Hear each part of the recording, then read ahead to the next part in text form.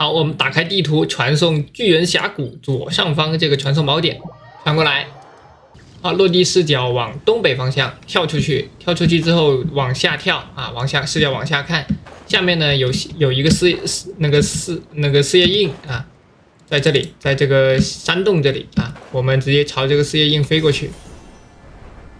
好，飞过去之后经经过一个石碑啊，一群小怪，前面有个断桥，我们到断桥对面去啊。这群小怪有点碍事，我们可以先把它清掉，因为等一下要互动。